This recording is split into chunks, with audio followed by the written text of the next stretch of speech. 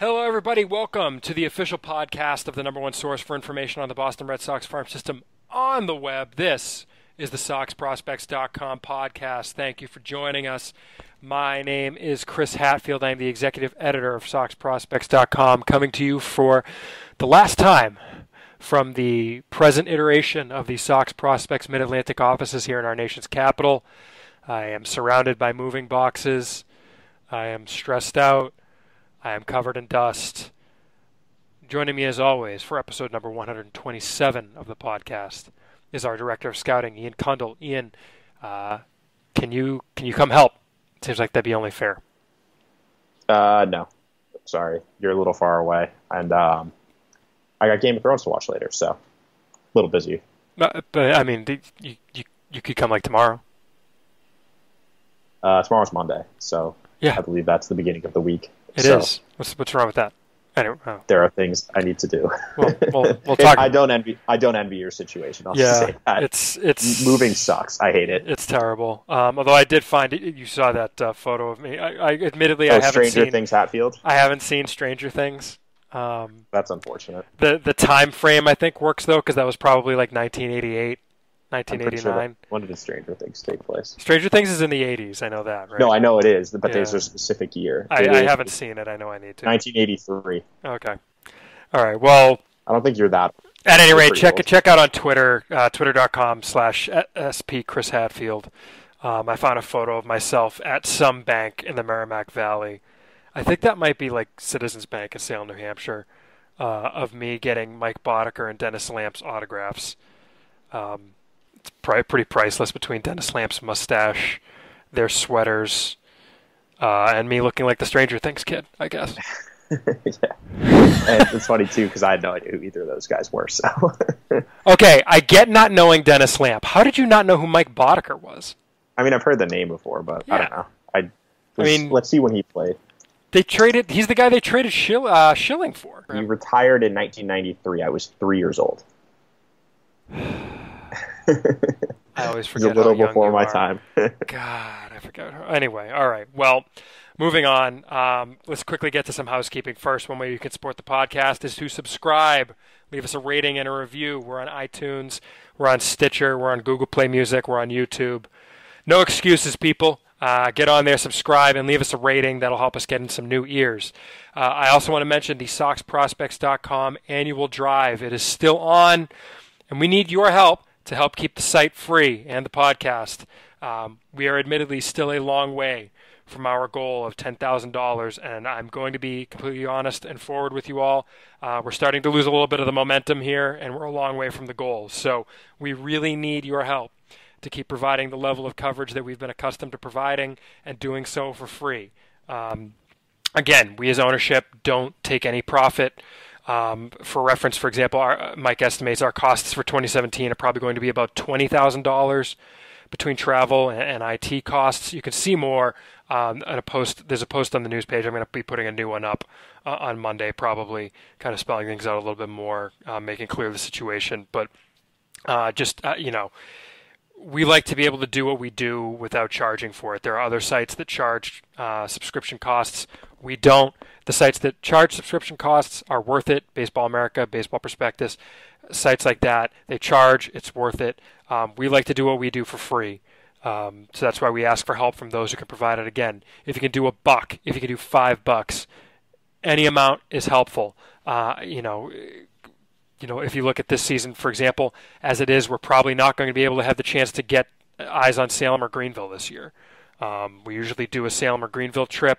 It doesn't look like we're going to be able to do that, and I, I'm not going to be able to see them just because the schedule didn't really line up line up for me at all to see them when they were around DC. Uh, it looks like the only games I'm going to get to around here is going to be I'm going to get to see Portland in August, hopefully. Um, but uh, you know, between spring training, the fall instructional league, um, and like I said, things like IT costs, hardware, software, internet costs, hosting fees, and so forth. Um, you know, travel costs uh, for scouting and player columns. It adds up. So any support you can provide is helpful. One way you can do that is if you go to our donations page. It's soxprospects.com slash donate.htm. That's donate.htm. Um, you go on there, you can uh, make a secure donation through PayPal, uh, although you don't need a PayPal account uh, to contribute. Just it, it's through PayPal, but you don't need to have a PayPal account. Um, the donations go directly to costs. We, we reimburse ourselves for travel and IT costs, but we don't take out profit distributions. Uh, we haven't done so for the last 10 years. We're definitely not doing this to get rich. Um, the other way you can support is uh, you can support by being in the Sox Prospect, being a patron on the Sox Prospects Patreon page. That's patreon.com slash Sox Prospects. You guys have heard me talk about this for a while now. We recently reset our goal on Patreon. Uh, we want to get up to $100 per episode for donations. Uh, you guys have been very supportive on there, and we appreciate that. What you do, you go on, you pledge a certain amount per episode, which we have levels that are $1, $2, and $5 per episode. Um, you can pledge whatever you want, though. You don't have to stick to those levels. You can go above and beyond if, if you really want to. Uh, but you get rewards based on your per episode contribution. You can see what the rewards are on there. And as we do each show, we want to thank our $5 level contributors. Those are Sox Signatures, Cody Pimentel, Lendell Martin, Kirby Miller, Gerardo Iantosca, Kyle Costigan, Tyler Woodrow, Jeff Trainer, and David Nardone. Thank you to them and all of our contributors on Patreon. Uh, we love getting your emails. We're going to read some emails later in the show. Send in your questions to podcast at soxprospects.com. Uh, we want to talk about what you want to hear about, so send them in. And again, as we've said the last few episodes, I think, um, don't ever feel like you know questions too basic or anything like that. If you've got a question about something we're talking about matter of factly, you might not be the only one with that with that question. So we kind of like sometimes getting the basic ones because that gives us the opportunity to talk about, hey, what does this mean when we say this? Just because it, it makes sense to do that when people want to hear it rather than, you know, having the basics episode every year or something like that. Um, so any question you have, send it in. Finally, Twitter. Check out the site's feed at Sox Prospects. I'm at SP Chris Hatfield, as I mentioned, and Ian is at at Ian Cundall, I A N C U N D A L L. Um, make sure you follow that. And there's actually a neat little uh, site Twitter feed. If you go to our news page, that's news.soxprospects.com. Make sure you go in there to check out all the great content we've got for you guys uh, this week. Ian put up uh, a Portland scouting scratch. Uh, I think just on Michael Chavis, actually, was what that one wound up being, right, Ian? Correct. And we're going to have another one coming up in a couple days here. Uh, I think probably Monday morning on um, some other players in, in Portland. Um, Ian's seen uh, Tanner Houck, the first round pick this year recently, so maybe get something up there soon as, on him as well, right? Yeah, and there's uh, there was also last week we put up some video on the Sox Prospects YouTube page, and Hey. if you're not following that, make sure to check that out. Um, I think it's if you just search Sox Prospects on YouTube, you can find the page and subscribe and leave comments on the videos because that makes us feel good. Uh, we're at 575 right now, so help us reach 600. Yeah, that'd be great. That'd be great. That would be And great. Tanner, there'll be Tanner Houck video up on that next week too. It's already hey edited now. and in the pipeline, just waiting for next week to Hey run now. it. Wonderful. And uh, there was also trade analysis of the Eduardo Nunez trade, which I think we'll talk about because you said you disagreed with my take, and uh, a and a retrospective or call up piece on Rafael Devers. So it was a busy week. Wonderful. Well, let's start with news, Ian. Um, one or two things have happened since our last episode. Yeah, we picked a bad time to take a break for a week. Well, hey, my- I was in Someone- St. Martin, time. man. Yeah, I was about to say someone picked a bad time to go on vacation. Pretty Yeah. selfish. Dave Dombrowski doesn't wait around for anyone. He, clearly not. Okay, and um, okay, so we're recording this out of order. Uh, most of the podcast you're listening to was recorded on Sunday the 30, 30th, but uh, right now it is the night of the third Monday the 31st, and uh, Ian and I have hopped back on to talk about the Addison Reed trade uh, and, and other things that may be out of date that we talk about later in the podcast. Uh, yeah, we're not that smart recording on the 30th. We didn't no, really think that, was that was was through. not not a good idea. We could have just waited a day. we really should have. whatever. But Yeah. yeah, so let's just get down to it, Ian. Uh, the Red Sox have traded for Mets relief pitcher Addison Reed for a package of three minor league relief pitchers, all of them 22 years old, coincidentally enough. Uh, that's AAA relief pitcher Jamie Callahan, who we had ranked 20th at the time of the trade, uh, and two high A Salem relievers in Stephen Nogosek and Gerson Bautista, who we had ranked at 25 and 47 respectively. Uh, you wrote, and I helped a little bit with a trade analysis that went up midday today. Uh, Tell us about those three guys, Ian. Yeah, uh, I think that. For, well, they're all relievers. First off, I mean, I, yeah, all of them are already in the bullpen. So uh, the Red Sox, I, I, do like that they didn't really delve into their starting pitching depth with this deal. But um, starting with Callahan, he's the closest to the majors. Obviously, is already in Pawtucket, as you mentioned. He was drafted back in 2012 out of high, school in South Carolina. Uh, he received a $600,000 bonus, and he's had early struggles. Uh, he was in the rotation for his first few years, but after I think it was in 2015, he moved into the uh, bullpen full time because he was really struggling as a starter. And uh, with that year, he had a 9.14 ERA and 2.08 WHIP as a starter. And then he moved to the bullpen and had a 3.06 ERA and 1.21 WHIP. Yeah, so uh, I was yeah. looking at his, his last start. He he recorded one out and faced eight batters. Not ideal. Um, so, so, that so that was uh, so he's moved to the bullpen. And in the bullpen, he, he's pretty interesting. Um, his fastball, he sits like 92, 93, 94 around there. He'll get up to 95, 96, and reportedly has touched 98, though I've never seen anything higher than 96. And uh, it's got late life because he gets good extension of the plate. He comes right over the top and like swings his arm and drives off his backside uh, pretty aggressively towards home plate. So it's pretty off-putting as a hitter and I think he can miss bats with the fastball. It's a plus the better pitch. And then um, his secondary pitches, he's got a splitter, 85, 87 with late dive, and a cutter at 86 to 88. And both, I, I like the splitter a little bit more. Um, that will flash plus also, and the cutter's like an average-ish offering. So he's a guy, you know, plus fastball, plus secondary, um, average third pitch average command profile. His control is good though. He doesn't walk a lot of guys, and he's pretty close to major league ready. So you know you're talking about a high floor relief arm. But he's someone that I could have seen contributing to the Red Sox maybe at some point later this year. But as with the Reed addition, I was looking at it. Their bullpen's actually pretty full right now. Yeah, now that they have Reed, they, they weren't going to have room for a guy like. Yeah, they have a lot of guys, and they also have a lot of relievers on the 40 man who are in AAA. So yeah. They don't really have room. They wouldn't have had room to add him until the offseason, which they would have had to do because he was Rule 5 eligible, and I think he was a lock to get added anyway. Yeah. I mean, with, with the Mets, he'll almost certainly be up in September. Oh, I could see him up sooner than that with the Mets yeah. if they decide so. Decide to. Um, the next guy going is the next highest ranked by our site or by us is uh, Stephen Nogosek, who was the sixth round pick last year out of Oregon.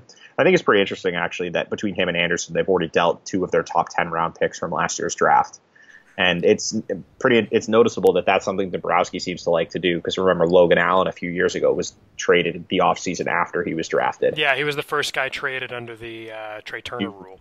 Yeah, because now you don't have to wait a year. So uh, it seems like once you're in the system, you know, there's no you don't really uh, Dombrowski doesn't give you like a waiting period to see what you turn into. If the other team values you, he'll just move you. So um, with Nogosek, he's a, he was the closer at Oregon, and he's been working as exclusively as the closer this year with both Greenville and Salem.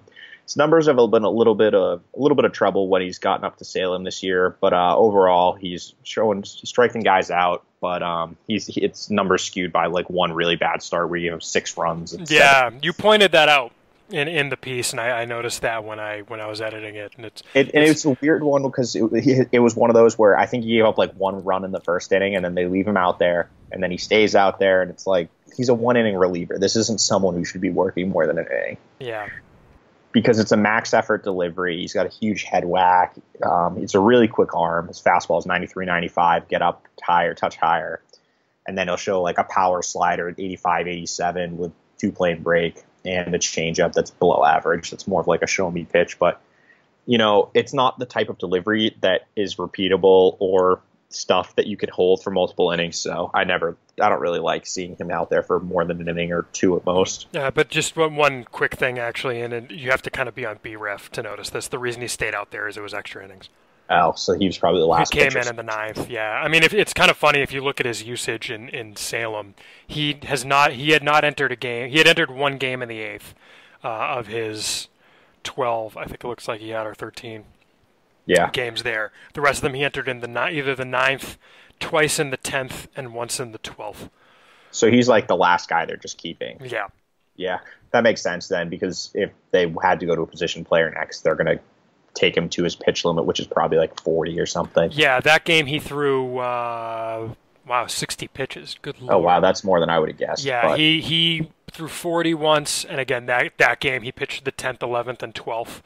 Yeah, and So- he threw. Yeah, he, but other than that, other outing where he threw 60, he hadn't thrown more than 30 with Salem. yeah. It, it's kind of weird because looking at just his game log on MILB, it's like, oh wow, they were extending him out because he was one inning, one inning, one inning, a third of an inning, and then it's three innings, two innings, two and a third, two innings. But then you realize it's the tenth, eleventh, and twelfth, the 9th and tenth, the 9th, Yeah. tenth, and taking the loss in the bottom of the eleventh, and then you know the next time he comes out and actually throws two innings, but you know he had three days off. Yeah. So, And then, uh, so he's he. I think he could move pretty quickly if performance dictates it. Um, but again, I think he's like a sixth, seventh inning guy. I don't, I don't see late inning arm, just because of the injury. There's injury risk and the command profile. I'm not sold on. Um, and then the final guy going is Gerson Bautista, who is also in Salem. Uh, he's another hard throwing righty, like the first two guys we talked about.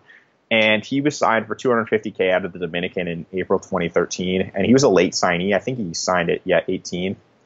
Um, oh no, just like just turned almost 18, and uh, but he was suspended for his first season, so he missed all of 2013 because he tested positive for a steroid.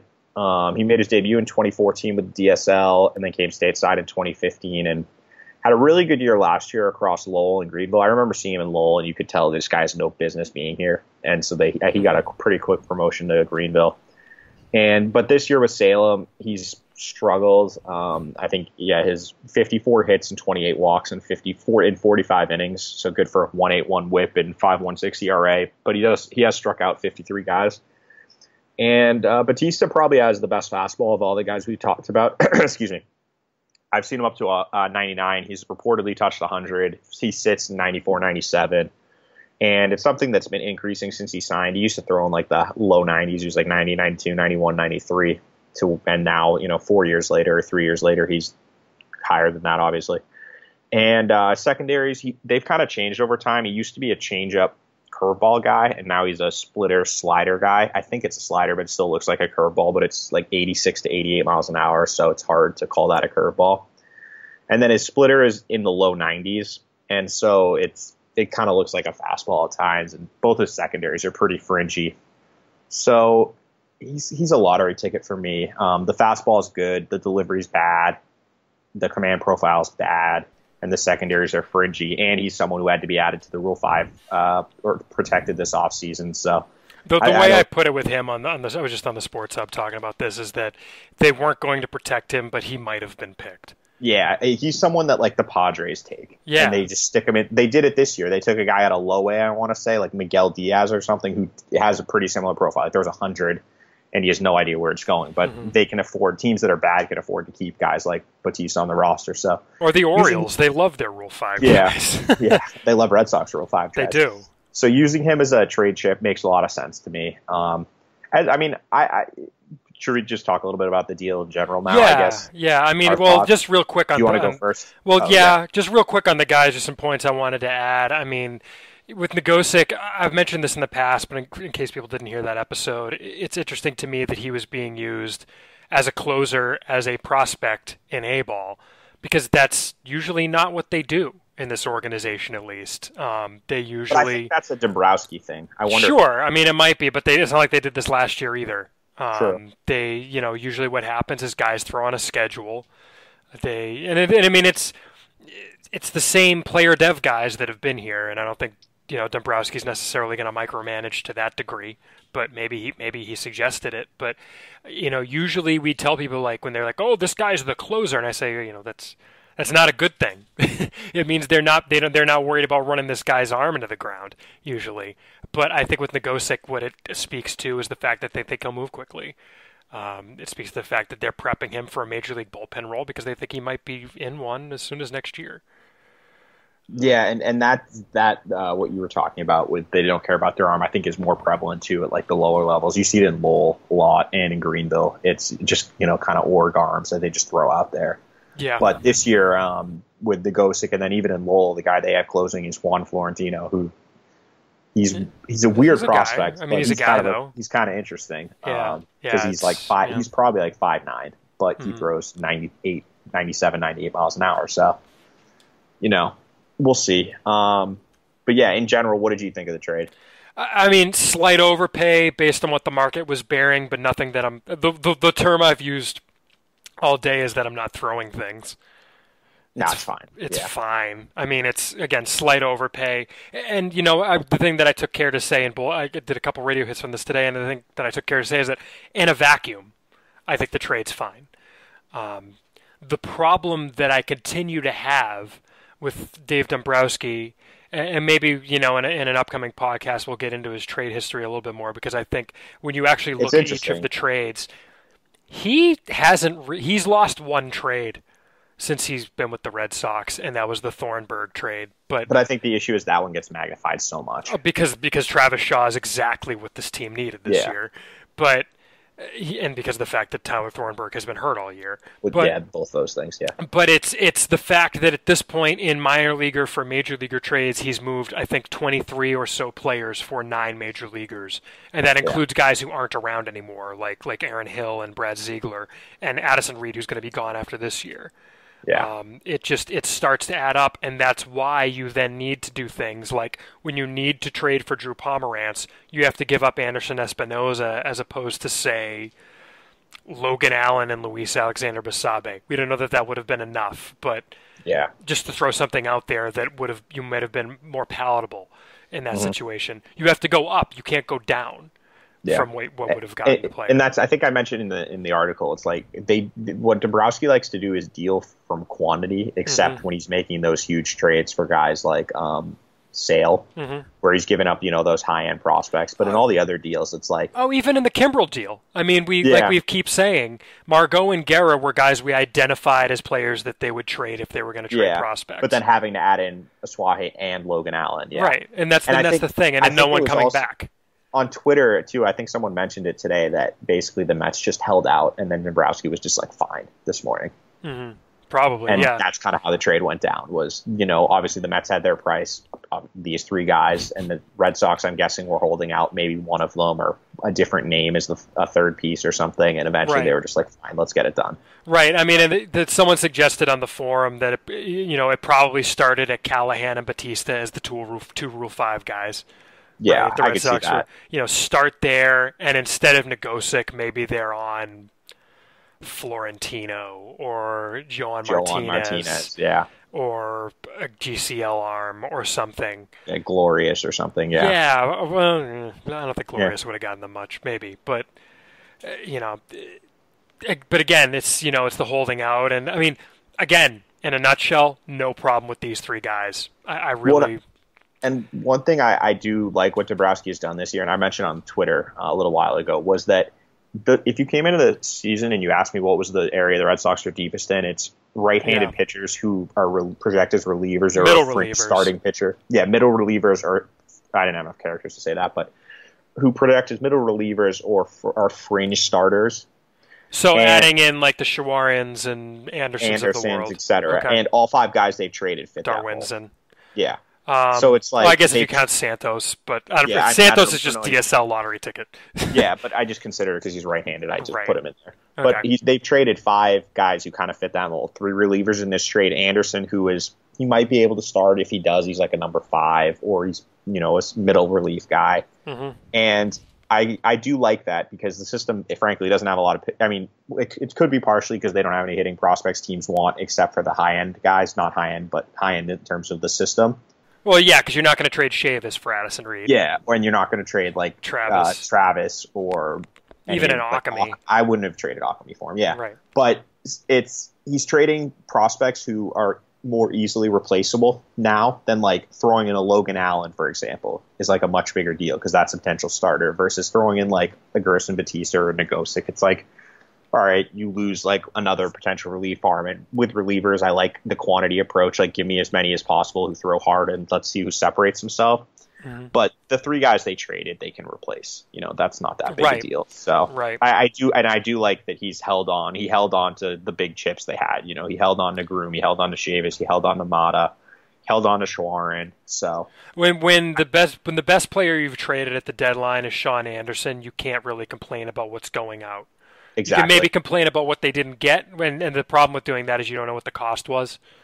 But you know, you can't really get on Dombrowski this trade line deadline for trading too much in terms of talent. But again, that said, it's five guys out for two guys in. Yeah. Who aren't going to be here next year. And I, I, do wonder if there is like a Dave Dombrowski tax where teams are just like they know they can extract at the end of the day an extra guy, so they're always going to ask for that extra guy, and if that has an impact on potential deals. Maybe. You know I, mean? I mean, maybe, but at the same time, I don't know. I mean, maybe you want that because you think, you know, maybe you would have been there all the whole time, and you. I mean, there's a way you can work that. Well, I just it was interesting because I, I, think in his phone, what did he do? A phone call or press conference Presser, or something? Yeah. He, he, he mentioned that they were interested in a lefty reliever, but the prices they were quoted was way too high. Mm-hmm. And looking at the lefties that moved, like Hand? Well, yeah, it could have no, been a guy like Hand that did. Well, yeah, if it was Hand or Britton, obviously that that makes sense. But like Singrani and who was the other one? Tony Watson got traded, yep. and the return for those guys didn't seem like anything that big. So no, my guess would be that it was. I, I didn't know that just because I had to. I, bas- I, I my trip home to make sure I got home in time for the sports hub was. Yeah, it sounded like fun. Yeah, planes, trains, and automobiles. But uh, I was actually running into the apartment building that I live in with my the dinner I had to pick up on the way home from the Uber. It was it was bad. Um, nice. Yeah, but it it's um, I, I, lost my train of thought. Oh yeah, no, but it seems more likely that he was talking about um, uh, one of the guys that didn't move because it, it seems like because well, Justin know. Wilson went for a pretty decent return. Yeah, and Br- yeah. Brad Hand would have been a great fit for them, but I, the reported the Padres wanted a ton. So, mm yeah, I, am fine with it. I think it's it's fair deal. Again, in a vacuum, they helped their team. Yeah, you know, both moves help their team, and I like how they're using Nunez as we discussed on the other mm-hmm. part yeah. of the podcast. Yeah. Now we'll get into things you're about to hear that we already regret yeah. saying. And then uh, Reed, the I like I like his impact on the rest of the bullpen. Um, I mentioned the article, but it extends it, it. It extends it exactly. So now you've got Barnes in the seventh. They really like Brandon Workman, and frankly, I mean, I, I liked what I saw. I saw I might have been the start where he kind of figured it out, or the relief appearance, because I was talking with some of the guys up in Pawtucket, and they said that he was like 90, 92, and then all of a sudden, this one outing that I was at, he started hitting 95. Hmm. And he had been 92 for, they said, like the entire year. And then he kind of just figured it out. And now he's up in the big league level pitching in high leverage situations. But with this addition of Reed, you know, you can employ him in the fifth, sixth inning because he's a guy who can give you two innings too. So, yeah. And the thing is, if you've, the bullpen. If, when you get, uh, you know, Carson Smith apparently is close to, again, rehab maybe a rehab assignment. Uh, I'll believe it when I see it. But you know, if Joe Kelly comes back, this could be a really good bullpen. Kelly. Yeah, because if I mean, if you get Kelly back and you get Carson Smith back, you're looking at Kimbrel, Reed, Barnes, Kelly, Hembree, Workman. That's a pretty good, you know, right-handed. Well, and Smith in theory. And Smith, yeah. Yeah, but I mean, you, you DFA Boyer at that point. Yeah, you have Matt expect him because. Well, and I mean that's part of why Addison Reed is a good fit. We should probably mention is that he's yeah. he gets lefties out too. Um, he's got a reverse split. Um, in fact, so the the fit there is nice. Um, yeah, I, I mean it's a good addition. It's I like it. Mm-hmm, mm-hmm, yeah. Um, all right, so we like it. Uh, really quickly, things that we talk about later in the podcast that have already happened. So this uh, is like corrections, right? except it's up front. Yeah. Uh, yeah, Rafael Devers is hitting six tonight, Ian. We're pretty smart. I'm not to say we called it, but I'm pretty sure we said he should be hitting sixth. So yeah, or that he's going to be hitting sixth or, or seventh very soon. Yeah. And by very soon, we meant tomorrow. I mean, he. I think he's got three more hits today. He's got three hits tonight. Yep. He's good. His third hit, I just turned the game on, like I mentioned, it, which you will hear soon. Um, I kind of just watch his at bats, and that's it. And his third at bat came against Zach McAllister, who throws like 98, 99. Yeah and he just stayed back and just slapped a single between the shortstop and the third baseman to left field. And it was just like, oh, I love it when he does things like I that. It's so beautiful. Hit. It's so nice. What was the other thing we wanted to mention? There's one more thing, and then we'll get out of here. Uh, We're already running long. Come on, think. What was? Oh, Doug Fister shoving. Oh yeah, we were okay. That's a thing. That's a correction. Yeah, um, Doug Fister's not as bad as we said he was tonight. What's he? Twelve up, twelve down. No, seven innings, seven shutout innings, three hits, two walks. So yeah, he's he's pitching well today. So oh, I'm good. sorry, Doug. Just I'm, I'm glad we lit a fire under you to pitch well tonight. Yeah, I mean clearly it's because of us. He heard what we yeah. said, even though it wasn't. He heard the yet. unreleased audio. Yes, was not happy. Okay. Um, all right, everybody. Here's what we recorded yesterday. Um, thanks for listening to our nonsense. Well, let's let's start at the top, and by at the top I mean the top of the Sox prospects rankings, because Rafael Devers has made his debut and uh, hit his second home run today. I think, right? He did. He did. Field shot. Oppo. Um, pretty you, good. I, I think we, uh, yeah, we were on this one. He's he's pretty good, you guys. Um, he can hit. He can hit a little bit. Uh, well, let, us see. Okay, so Devers finally was called up to the major leagues uh, over the course of the week. He was he was called up on the 24th. Is it a finally though? Because they said they wanted to give him time in AAA, and then like nine days later they called him up. Well, okay, so it was Monday so, the 24th and maybe I think this is what's worth talking about because we, we've talked about Devers a lot on here. The I, I, would like to point people to the news page where they can read the. We had an analysis piece on him coming up, right? Yeah. Um, very detailed. It's very detailed, and I don't want to repeat that. So so let's let's talk about this, Ian, because this isn't isn't something we really got into there. Did they wait too long? And and I, I mean obviously not since they called him up to AAA because as you said he was there for about nine days. But why was he in Portland for as long as he was to have him in AAA for nine days when they were saying, and we were saying, frankly, that this was different than Andrew Benintendi. This was different than Yoan Moncada, although I think it's only different from Yoan Moncada in, in the timing in the, in the year. Because frankly, Yoan Moncada doesn't come up when he did last year if it wasn't the end of the year and there weren't any more minor league games for him to play in, if I'm being yeah. f- frank here. Yeah, he was definitely not ready. He wasn't ready. I think they knew he wasn't ready, but it was what the hell? Let's, who knows, right? Give it a shot. Give it a shot. This is clearly not what the hell give it a shot.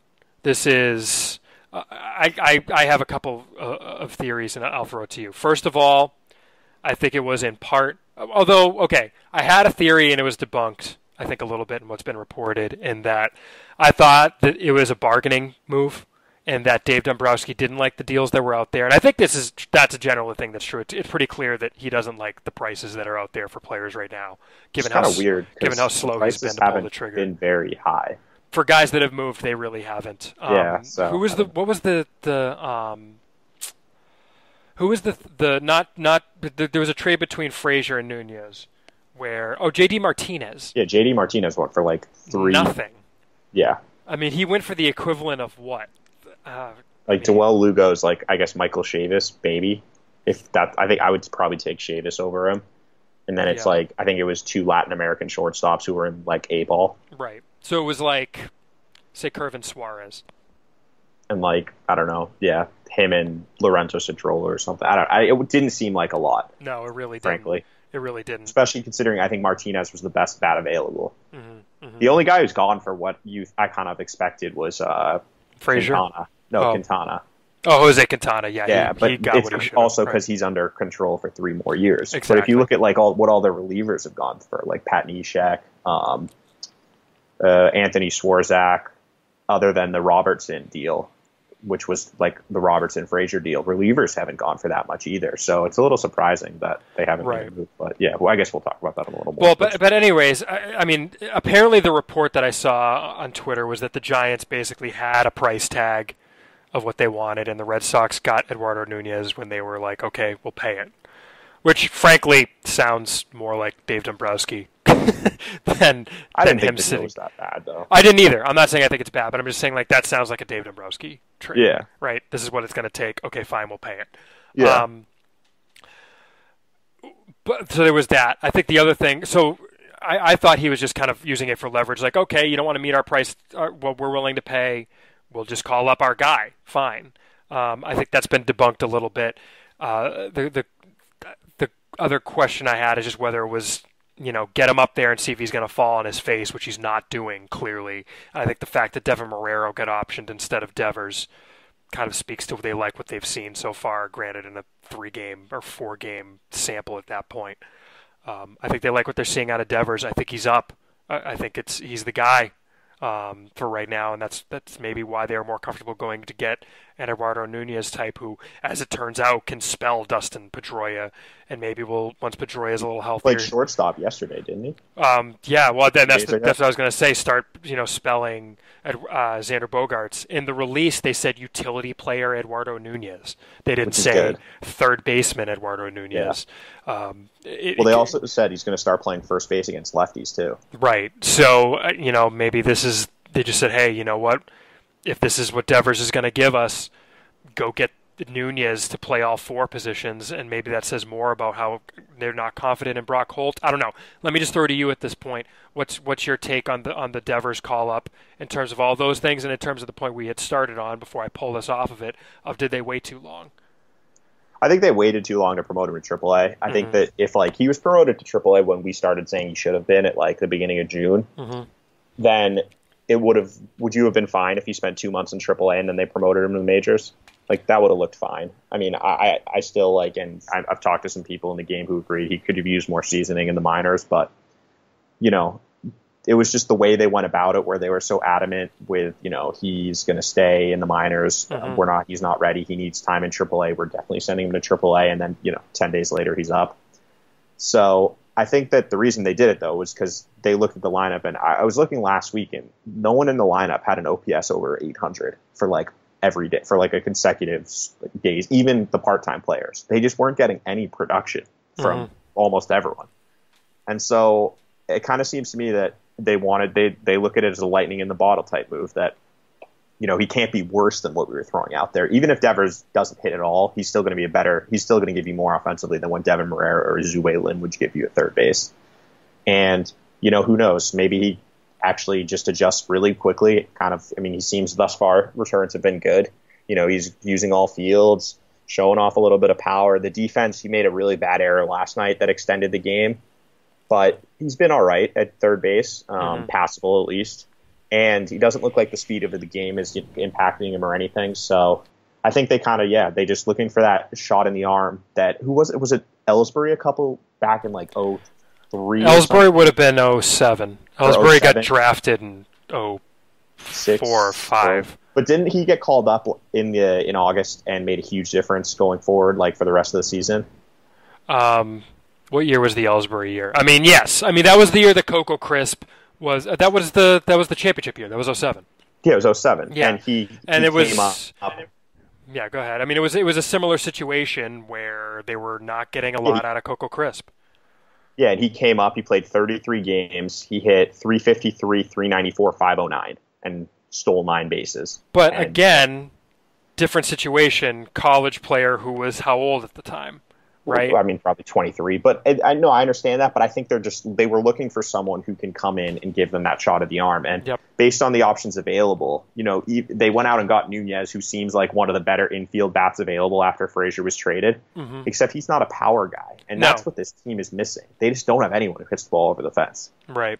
So I think Devers is they kind of looked it around and decided let's give our guy a shot. He doesn't cost us anything other than service time, which is now he's obviously going to be a free agent a year earlier than if he had waited.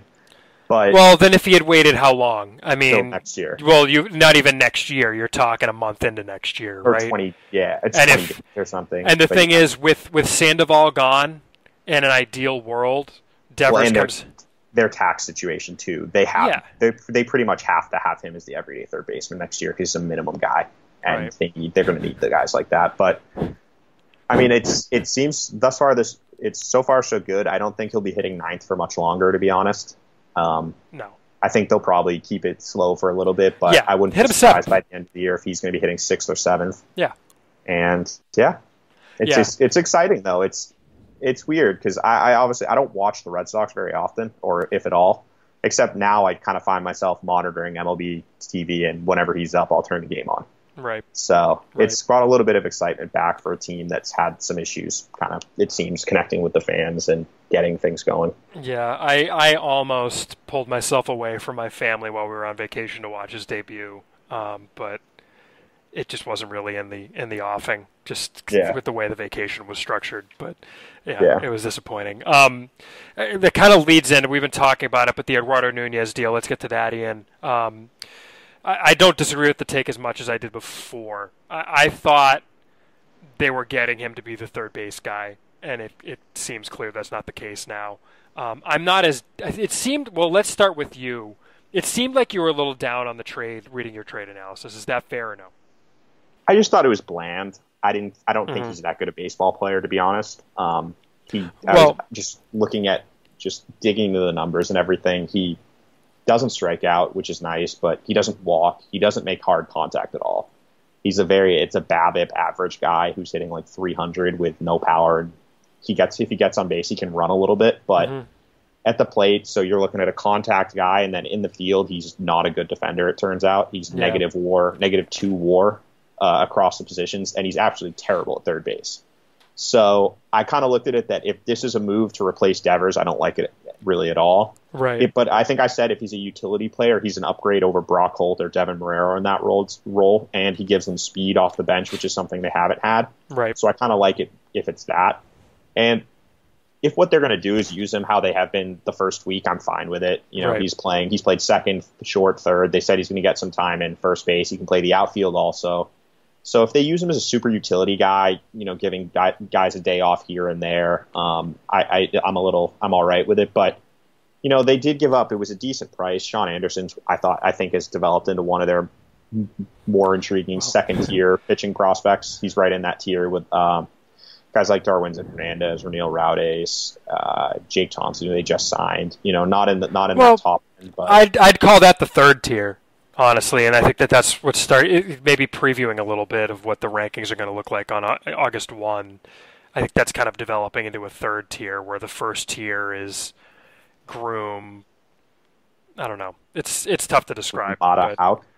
Groome Mata Houck, yeah, and then it's like where does Shawaryn and John where does Shawaryn and Johnson fit? I think I that's almost I like kinda, tier one. All these guys are kind of similar to me from Schwar, not the first three, but from like Shawaryn on down. I think. I guess. I guess. Uh, so, but it's just. I mean, it's they didn't. I was I was pleasantly surprised that the second piece was just a DSL lottery ticket.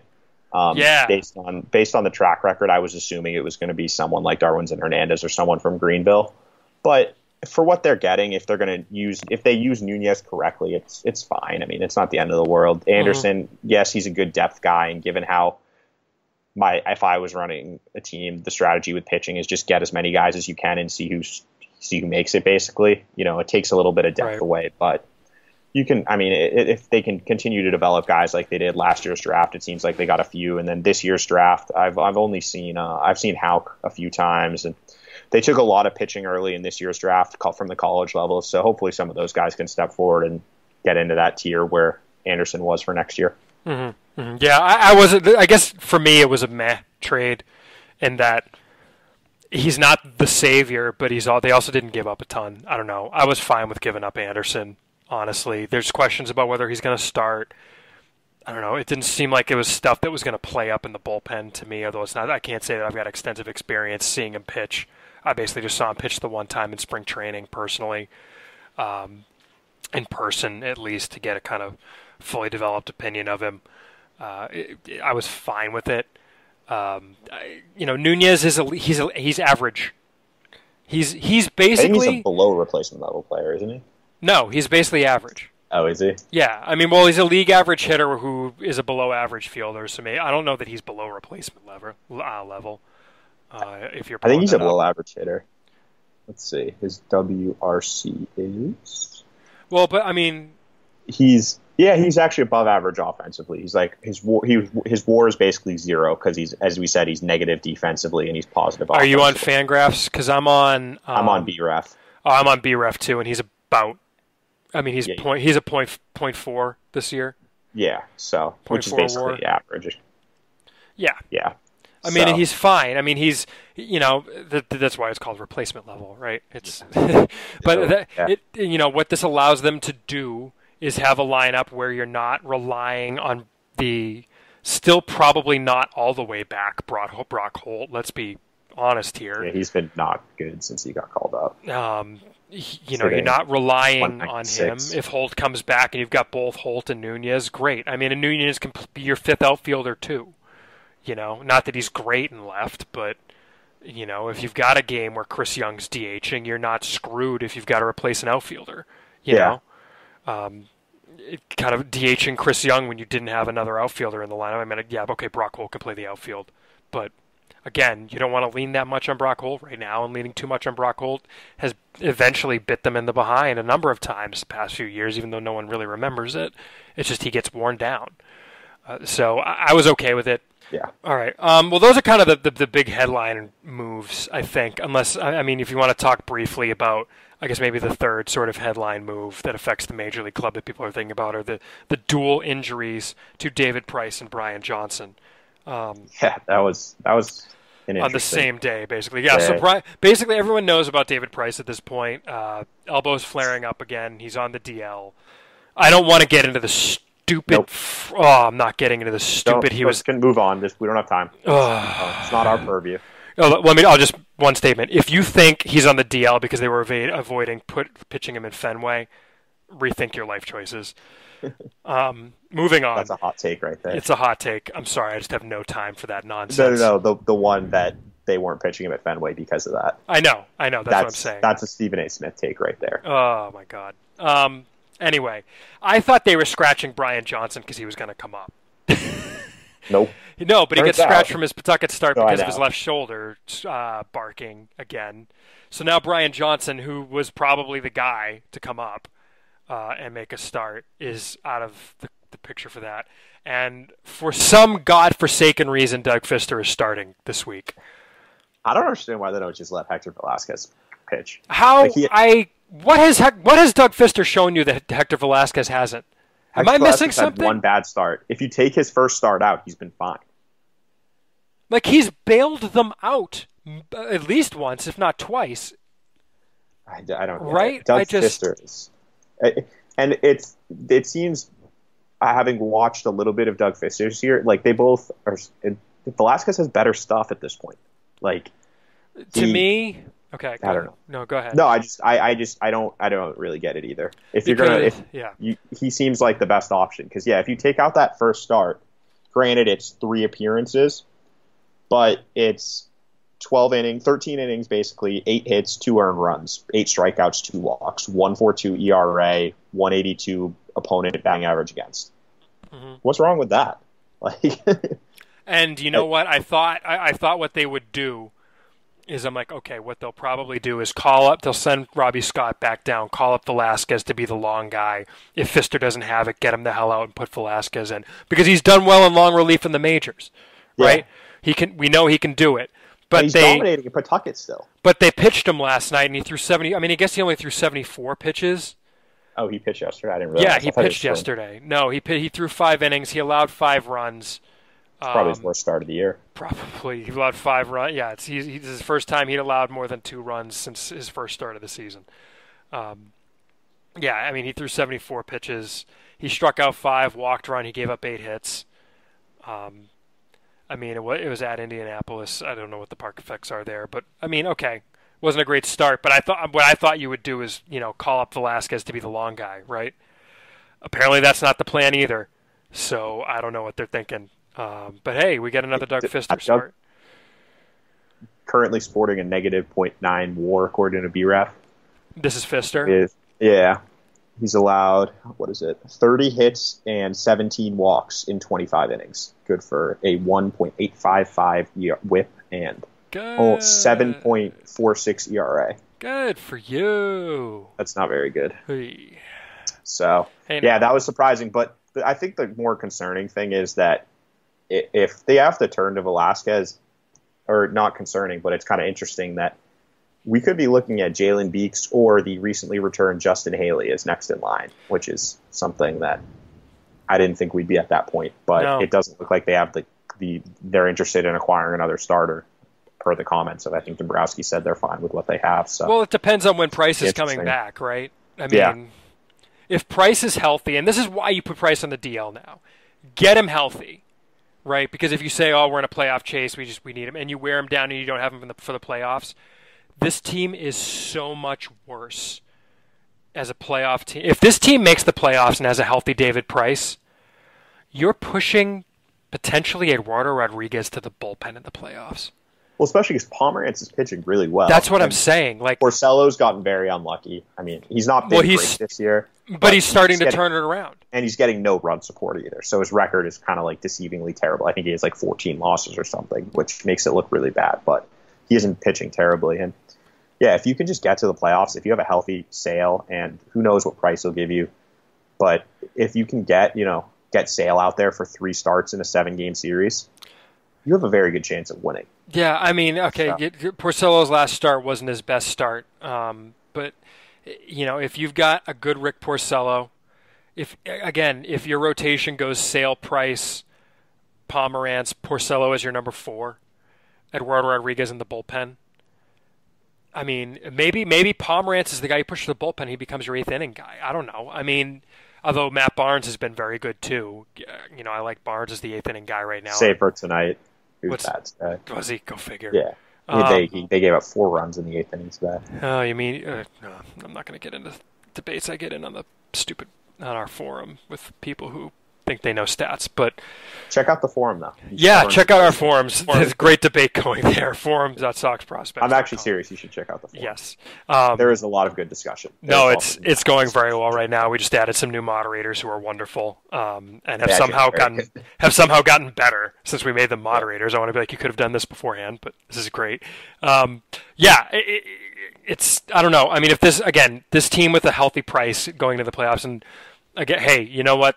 Before you say, oh, well, he's not good in the playoffs. uh, Give me, give me David Price over some schmuck who's happened to have three good starts that happen to be in the playoffs, man. Um, you Yeah. know, whatever. Um, this team's much different. Get him healthy, and I know Yep. you got to make the playoffs first, but get him healthy for the stretch run too. Eh, But man, I wish they had another option.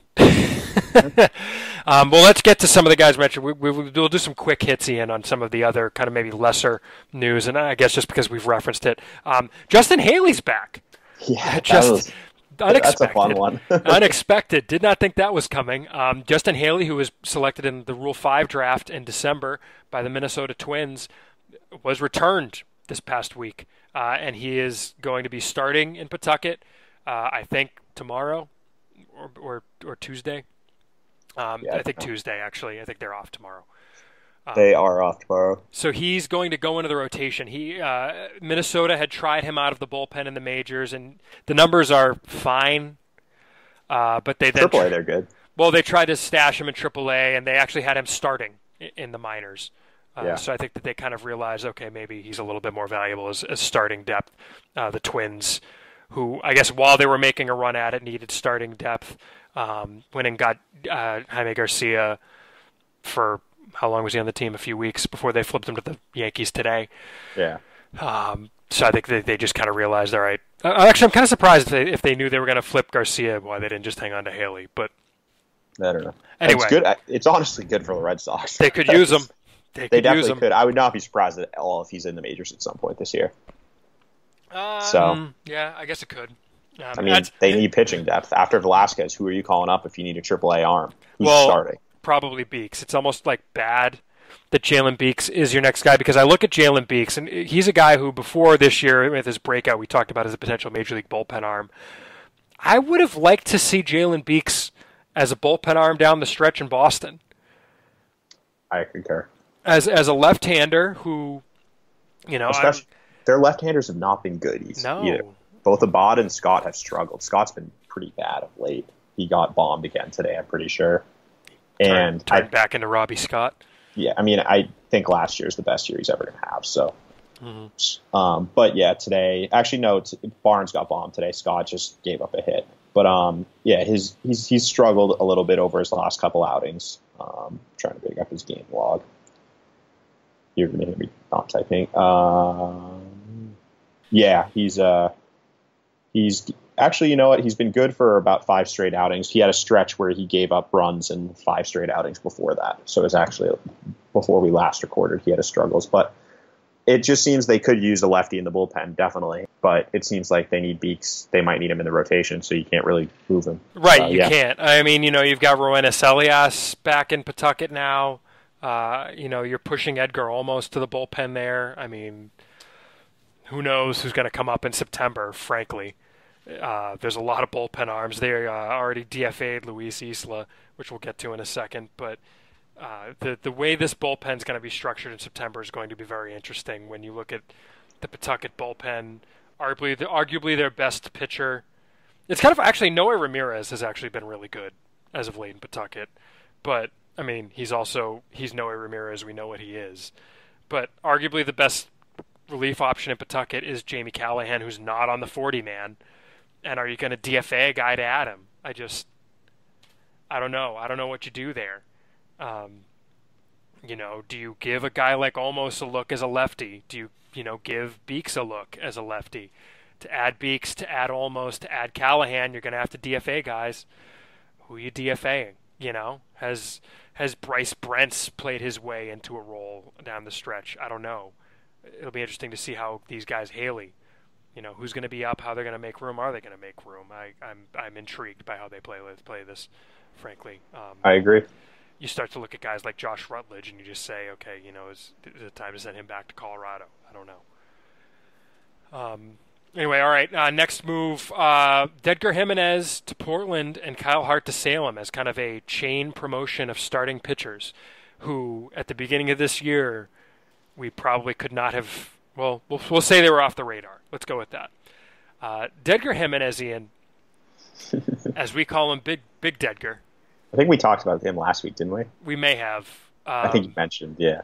He got mentioned uh, in Portland. Very yeah, interesting. Good, good, for him. Good I'm, for him.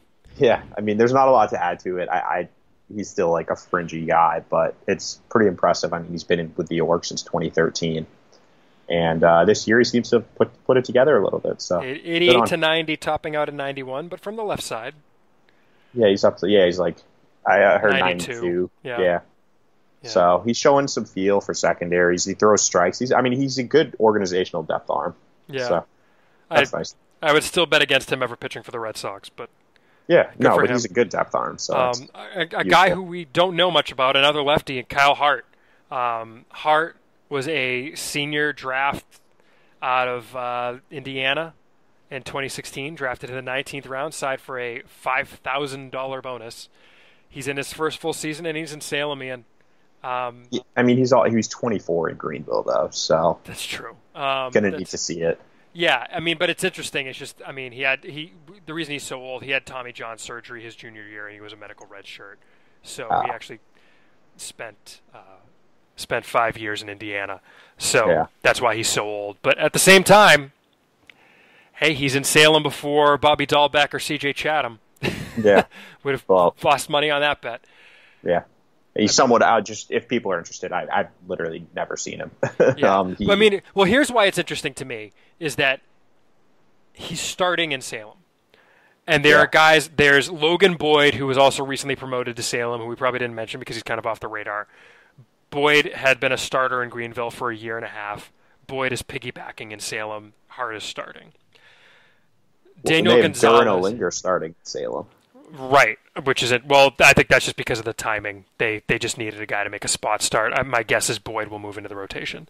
Yeah. But while while while Sean Anderson was there, Boyd was piggybacking and Hart was starting. Mm-hmm. Yeah. Um, they went and got O'Linger just because they needed a guy to make a spot start in Anderson's I like him too. O'Linger.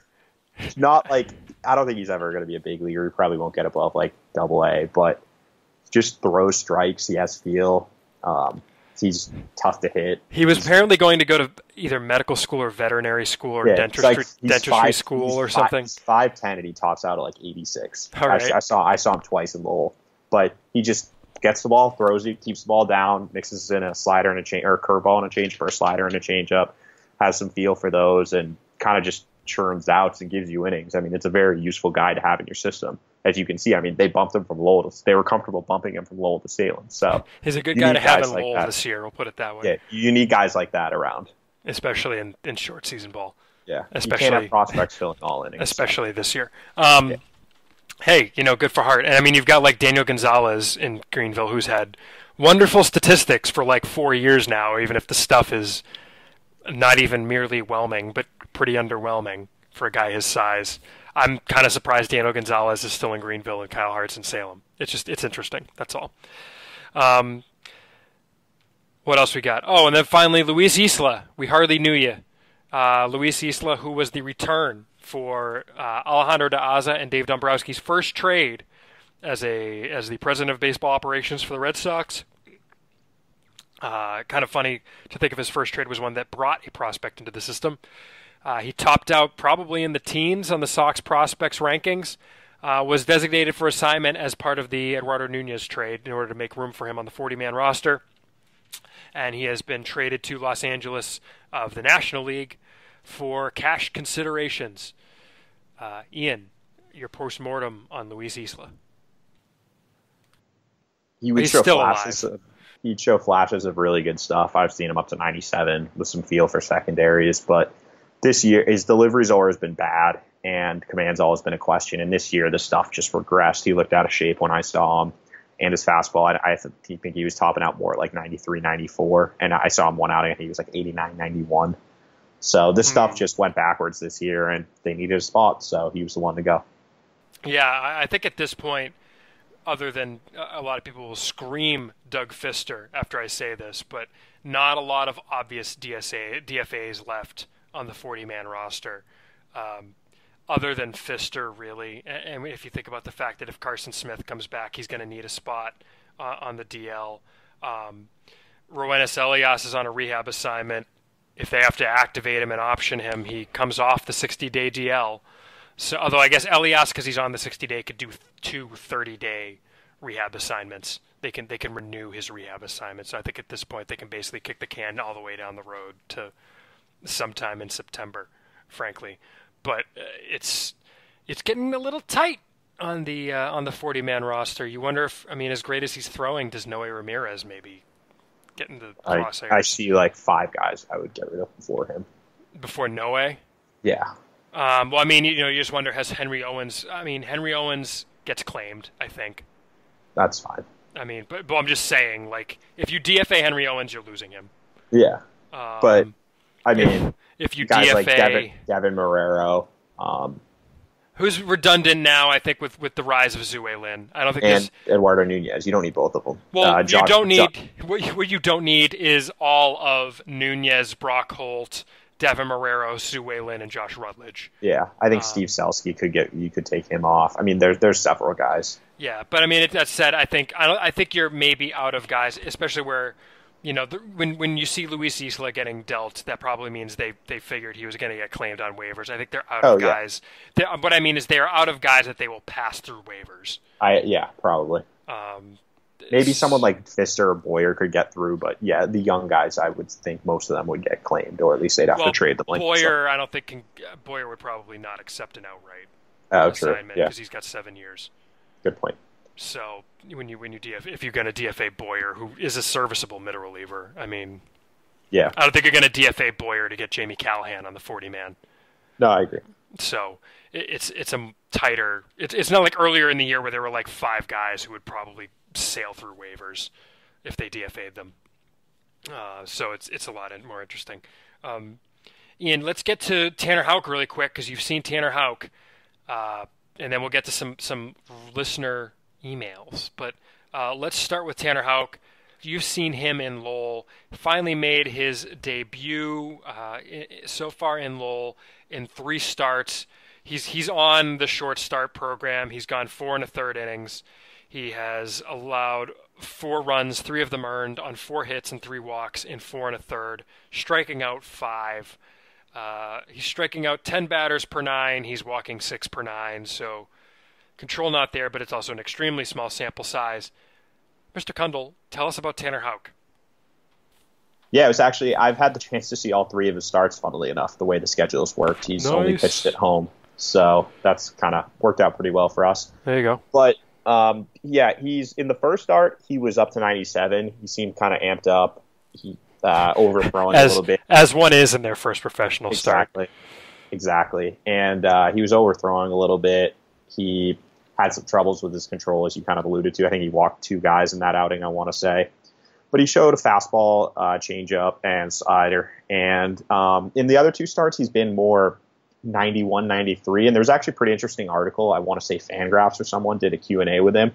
And he mentioned that how when he throws 91, 93, he feels like he has better control and he can get more movement on his fastball. Yeah, I think that was probably Dave Laurila, I bet. Probably. And versus when he's up in the high 90 or mid to high 90s, it's kind of straight. And I would agree with that. Um, it was his fastball was pretty straight when it was 95, 97. But 91, 93, these last two starts with a little bit of sink. Um, he's getting some ground balls. It's hard to square up, and he's he's been able to control it better. His sliders flash plus, uh, like 83, 85 range. Uh, it's pretty sweepy. It's long, horizontal slider, but um, it's kind of intriguing and it's it's tough for righties, especially given his arm slot. You know, it's that low three quarters, arm heavy, um, a lot of effort in his delivery, but he seems to make it work. And the changeup seems kind of like a work in progress. It's 88 to 90, which is obviously not a lot of separation from his fastball. So and I don't think he even threw it in the last start I saw of him, which makes sense given he's only working two inning stints. So I wouldn't be surprised if it's something that they focus on more in the offseason when they start to tinker with things. So it's kind of it's interesting. Um, he's someone I'm definitely going to keep my eye on. Hopefully, see a few more times this year. But I don't think we'll, we'll see the best of him until, or at least we'll get a better idea until next year. Because I, I, want he's someone I need to see go deeper into games, see how he turns the lineup over, see how he holds his velocity. So uh, we'll see. Was he a guy that you think Ian will? You know, well, let me preface the question. Uh, I know you know this, but the Red Sox, as an organizational philosophy, when they draft these guys and sign them, they don't touch them as far as their mechanics or anything until the fall instructional league. Did he strike you as a guy that was going to need a lot of tweaking or no? Because we, we heard the mechanics, you know, it's the low three quarters arm slot. There's a lot of movement side to side. It seemed like in the in the video we saw of him in Missouri. Um, what did you th- do? You think there's going to be much to do with him, or do you think it's just going to be kind of like, all right, get him adjusted to working every five days and go from there and work on the stuff? I think he's, his delivery is one of those that it's going to be tough to tweak with because it's pretty unique. Mm-hmm. Um, like Kopech had, he had some weird quirks yeah, in his delivery, but he had a, yeah. he had a pretty normal arm slot. It was just he had the his arm was just so much quicker than the rest of his delivery that he had trouble keeping it all in sync. He had all kinds of little tweak, little like movements and stuff. They're yeah, just like, okay, had, that movement, get rid of it. You don't exactly, that but that's easy to fix. Versus Houck is where he's throwing from. He, everything he does is kind of part of it. Like he has a little weird leg kick where he brings it up and then kicks it out a little bit. And it's just I'm not sure it's it could be I'm I'm a little concerned it's one of those situations where you tinker with one thing and it throws off the entire delivery because it's so unique. So they might try like change a few things, maybe like where his hand position is or where he stands on the mound or something like that. But I don't think he's it, you're not going to completely overhaul his delivery or anything like that. Mm-hmm. Nothing to quiet down or anything no, like that. I, I, mean, I just don't think you can. Yeah, you know, it's it's not one of those deliveries that you can kind of mess with. Mm-hmm, mm-hmm. Interesting, interesting. Yeah, I mean, it's it's. I mean, we kind of preach this too. You know, it's tough to really make much of what a guy does in his first, you know, time out of the out of the shoot as a pro.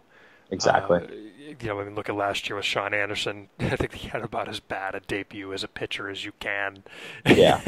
so and he's been fine this year. So. Yeah, he's been fine. So yeah. All right. Well, interesting. Um, good stuff. We'll look forward to seeing your take on him on news.soxprospects.com. Um, but just because I'm seeing this again, by the way, if, if you heard me chuckle about a half hour ago on the podcast, because our uh, ex players page on, on SoxProspects.com are kind of the links to the player pages of players who aren't in the system anymore. Uh, goes. It's kind of funny. Google Chrome thinks the page is in Spanish and is offering to translate it for me because there's that's enough. Nice that's enough. There's enough um, Latin American, players. I think is what the issue is. Um, well, Ian, let's move on then to, to emails. Does that sound good to you? Yes. All right. Our first email this week comes from Brendan Ryan. Uh, didn't he the play infielder shortstop for the Mariners or something? And the Yankees yeah, and the, Yankees Cardinals and everyone. a bunch of teams. Yeah. Well, uh, thanks for listening, Brendan. Um, Didn't realize you were a Red Sox fan. Yeah. Well, he asks, "Hey guys, long-time listener and follower. Oh, I wonder if he listened while he was playing. Um, love the work you do and start every day reading the cup of coffee." Which is great. Thank we appreciate that. The cup of coffee is our daily recap that's on news.soxprospects.com. Um, he's got two questions. The first, you've often talked about the inability of the Red Sox to develop bench players, specifically outfielders. Is Danny Mars somebody who can fill that role? Does he have enough of a hit tool to support the speed and D to be a fourth outfielder? Uh, interesting phrasing. Um, and I, that, that's the first question. We'll, we'll, we'll answer that and get, get to a second question. Um, kind of funny. Danny Mars, a guy who we've had a lot of internal debate about as part of the rankings process for the, the new set of rankings that'll come out on uh, probably on Monday night or Tuesday uh, on SoxProspects.com. Um, going to be a lot of shakeup, by the way, in those rankings. We've got a lot of movement. Movement I'm happy with. It's not movement for the sake of movement, but I think it's you're starting to get to the point where the sample size is getting large enough to move guys really based on what's happening. But um, getting back to the question of Danny Marzian, a guy we've talked about a lot. I think you and I and Mike kind of debated him a little bit. Um, before I get into my take, I'll throw it right to you. The, the question: is Does he have enough of a hit tool to support the speed and D um, to be the fourth, out, fourth outfielder? Um, what is your response to that question? I would actually flip it and does he have the speed and defense to support the hit tool? Because mm-hmm. Mars is a weird, weird profile. It he's is. pretty small. He's skinny. He's like 5'11", 6 foot, 160 pounds probably. So there's no power, and he's actually not that fast. He's like a average runner, I'd say. He's got really short, choppy steps, and I mean, you see in his stolen base totals this year, he's got 10 steals, but he's been caught stealing nine times. And the bigger issue is defensively because he can't. He's not a center fielder, um, mm-hmm. and he's not a right fielder really either because he has like a 30 arm. So it's a left field only profile more or less with average-ish speed, no power. I mean, that's a, that's a tough fit in a backup role. You know, you look at Chris Young, for example. Right. He, has got power. He can play all three outfield positions. Um, but so, not what he's been this year. Let's look at 2016. Yeah, Chris no, Young, but, right? Yeah, exactly. But it's just it's a tough profile. I think he's a big leaguer at some point, but I'm just not sure how he fits with the Red Sox because if you have him, you still need another backup outfielder who can play center field, and that's not ideal. Well, I mean, maybe not with the Red Sox because your entire well, starting that's what I said. outfield, I, I don't right? think. Yeah. Yeah. Um, so. Yeah. Sorry. Uh, the thing to me, it's interesting too because I can't see them protecting him this offseason. No, I, Even, I don't either. He's had a pretty good year. I mean, the numbers are nice. Um, you know, bringing him up here uh, for Portland this year, Mars is hitting 301 with five home runs, which is a career high, I believe. 370 BABIP though. Yeah, I, I just like you mentioned, 10 steals, nine caught stealing. Even last year, when Mars stole uh, 31 bases in Salem, he got caught 13 times. That's only a 70% or so success rate, uh, 71 maybe if you're rounding. But uh, that the break-even point for stolen bases is about 75%, where it's worth a guy to try and steal bases. So he's well below that this year, and he was even below that last year when he stole 31 bags it's a weird profile. I mean, we've talked about Aneury Tavarez. I mean, Mars is almost like a poor man's Aneury Tavarez. I feel yeah, like Tavarez has more speed, more power, and at least can play right field. Right. So, which means he can play left field also. Yeah, and I mean, So, Mars yeah. has played some center field the last couple of years, as opposed to Tavarez, who strangely, I mean, they're finally starting to let him play a Yeah, little bit of center field now, in but- Pawtucket. But um, Mars, he's played some center field, but last year he was doing it in what was not a good defensive outfield in Salem that featured Mike Meyers, uh, Franklin Guzman, Trent Um, Kemp. Trent. Well, no, No, Kemp no, was wasn't in in Salem. yeah. Um, who was Uh, in- Brian Hudson is who Oh, is the it other yeah. guy. And then once Joseph Monge came up to Salem, Mars did not see center field very often. This year, he's played uh, 14 games, I think, at center, and most of those have come with him being flanked by Jeremy Barfield and Henry Urrutia. Yeah, their outfield is taken. They've lost a lot. Yeah, I, I mean, a lot of it has been while, while Joseph Monge has been hurt. Um, Cole Well, Cole- Sturgeon has been what I was getting gonna the ma- the lion's share of the center field reps with Monge hurt. Um, and Cole Sturgeon, nice org guy, like him a lot as an Yeah. org guy. But if you're a prospect and you can play center field, you're not ceding center field reps to Cole Sturgeon. Correct. So um, Yeah. I, he doesn't strike me as a guy that they think can play all four outfield positions. So, All four outfield positions. The three. fourth one. Um, when you well, I'm used to playing softball. You see. No, I know. I'm Okay. used to an good save right there. Thank you, thank you. It's you know, quick quick quick goat thinking right there. yeah. Um, all right, Brendan's second question. He asks, "It looks like the 2014 draft class has a chance to be a really good draft for the Red Sox. Seems like there are a number of guys with the potential to contribute to the big league club." Um, 2014 draft class, kind of an interesting draft class, Ian. Uh, for those who do not remember, this is the year the Red Sox had two first-round selections that turned into Michael Chavis and Michael Kopech. Uh, Kopech, obviously the, the headliner of that class. The second rounder was Sam Travis, and then uh, after that, you have guys like Jake Cosart, Kevin McAvoy, Josh Ockimey, Danny Mars, uh, a couple guys who are now gone, and Reed Reilly and Ben Moore. Guys who are still around: uh, Jalen Beeks, Chandler Shepard, uh, Jordan Procyshen, Trenton Kemp, Jeremy Rivera, uh, Jordan Betts, Tyler Hill, Devon Fisher. Um, so other guys who were in the system and, and aren't around anymore. Uh, Josh Pennington was traded. Uh, I think Pennington was tra- the only other trade guy. Yeah, Pennington and Kopech. It, it's a pretty good draft class, Ian. I think, even if it just even you know, as we talked about with, or maybe it was just me with Jim Callis. I forget if you were on or not, but I was not. Yeah, um, like we talked about, if you get one major leaguer out of a draft, that's a successful draft. Um, Michael Kopech alone, and that he got helped get you Chris Sale, I think makes 2014 a successful draft. Never mind what Chavis, even with his huge breakout this year, turns into, what Sam Travis turns into. Um, do we want to go ahead and telegraph? I guess we might as well go ahead and say it. Chavis is going to pass Sam Travis in the rankings that come out on August 1st as the number three prospect in the system. It's it's a good draft, I think. Um, I think they went yeah, ahead and no, did well. Fine. Yeah. They got some good value with late round picks, guys like Shepard, Procyshen, uh, Jeremy Rivera, Tyler Hill. So yeah, it's a pretty good draft. Yeah, I mean even Kemp, if he can stay healthy, um, he's a guy that got over slot. Um, Jalen Beeks is a guy who got over slot at 150k. Um, you know, Karsten Whitson was a good lottery ticket at 11 that didn't pan out. Um, Josh Ockimey in the fifth round is a pretty good fifth round pick, man. Yep. Let's get to our next question. Thanks for the email, Brendan. Uh, our next question comes from friend of the podcast, Matthew Corey of the Internet. Uh, he says, "Hi guys, I saw Bryce Brentz hit his 19th homer yesterday. Writing this Monday, July 17th, bringing his slash line to something that's like two weeks ago. Um, he'll never be an on base machine, and at 28 years old, maybe never a MLB regular either. But do you think he can play a role on a major league roster?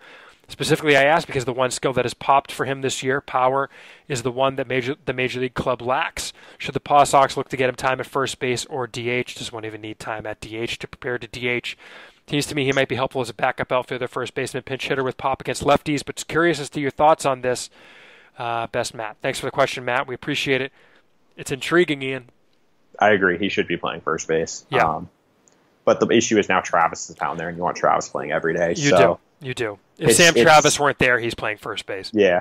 yeah. But it's it's they have Chris Young, and you're not going to get rid of Chris Young, and so that's the one issue with his fit with the Red Sox is a you have to get him on the 40 man, and b you have someone who does more or less the same thing already. So yeah, it's it's interesting because I think I like him best coming into next season as a non-roster invite who can earn his way onto the roster as the probably, fourth outfielder. He probably goes somewhere else, though. You think?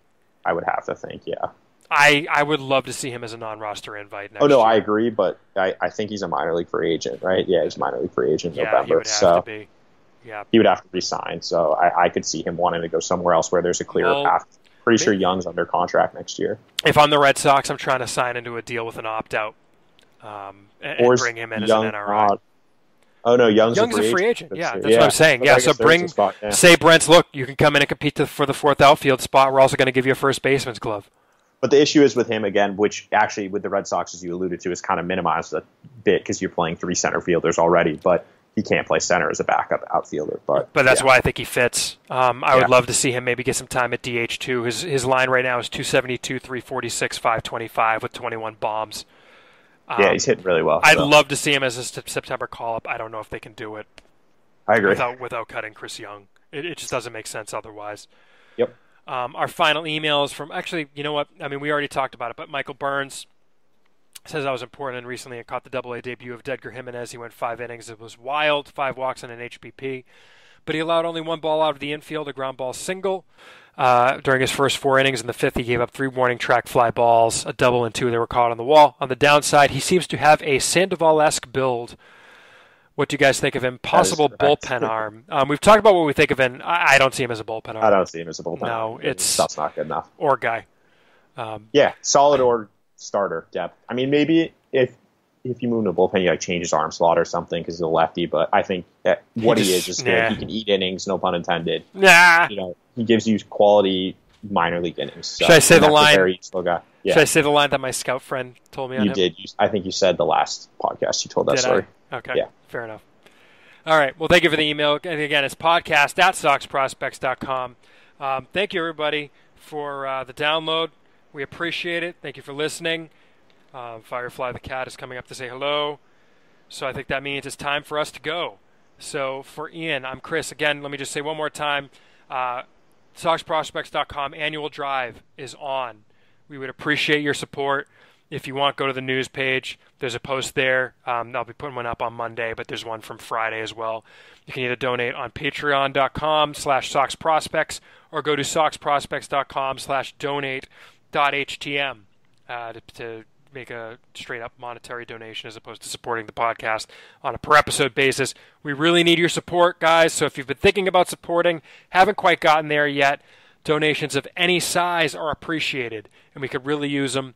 Um, the budget's a little tight right now, and the momentum on the annual drive is a little slow compared to past years. So it's a great time to hop in if you've thought about giving in the past and really haven't. We appreciate your support. We appreciate you listening and reading, following on Twitter, and all of the like. Ian, time for us to go, man. See ya.